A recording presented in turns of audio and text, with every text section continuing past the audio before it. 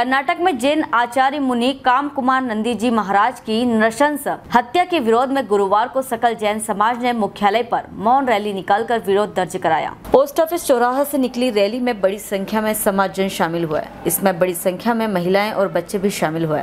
सकल जैन समाज ने एसडीएम कार्यालय पहुंचकर राष्ट्रपति के नाम ज्ञापन सौंपकर मुनि जी की नृशंस हत्या के आरोपियों को कड़ी सजा और घटना की उच्च स्तरीय जाँच की मांग की। समाजजनों ने बताया की कर्नाटक में पिछले दिनों जैन मुनि आचार्य श्री की नृशंस हत्या की गई है।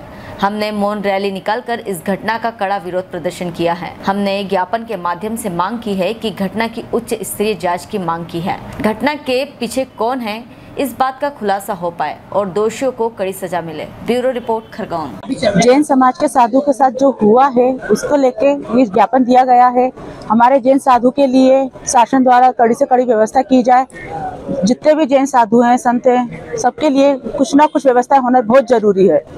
जो बिल्कुल अहिंसक हैं, परिग्रह से रहित हैं, उनके साथ ऐसा दुर्व्यवहार समाज के लिए असहनीय है। जैन समाज के लिए कलंक है जो कि सरकारों के इतने स्वर्णिम युग में ये घटना हो रही है तो इस घटना के उपलक्ष्य में हम लोगों ने मौन रैली का प्रदर्शन किया है और हम चाहते हैं कि इस केस के ऊपर जल्द से जल्द सुनवाई की जाए। कड़ी से कड़ी कार्रवाई। और विद्रोहियों के प्रति कड़ी से कड़ी कार्रवाई की जाए। ये जूनी जैन।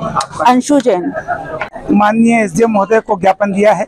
5 जुलाई 2023 को कर्नाटक में दिगंबर जैन संत आचार्य कामराज मुनि जी महाराज साहब 108 के जिस प्रकार से निर्मम हत्या की गई, उनके शरीर के टुकड़े टुकड़े कर कर उन्हें बोरवेल में डाला गया। इस प्रकार की जघन्य हत्या न केवल प्रदेश और देश के लिए दुखद घटना है, लेकिन जिस प्रकार से कर्नाटक में कांग्रेस के शासन शासन में यह घटना हुई है, समस्त जैन समाज को झकझोर दिया है। और जैन समाज ने, सकल जैन समाज और हिंदू सकल समाज के बैनर तले आज खरगोन में ये हमने ज्ञापन दिया है।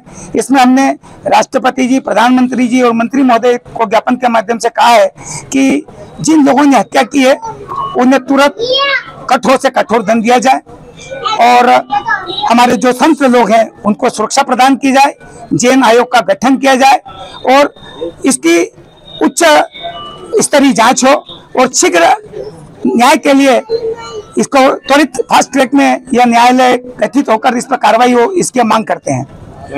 लली जैन श्री संघ अध्यक्ष वर्तमान जैन स्वतंत्र स्नातक हेलो फ्रेंड्स आप देख रहे हैं हमारा channel S W twenty four news हमारे सारे वीडियो सबसे पहले देखने के लिए आप हमारे चैनल को सब्सक्राइब करें और पास में लगे बेल आइकन को दबाना बिल्कुल भी ना भूलें।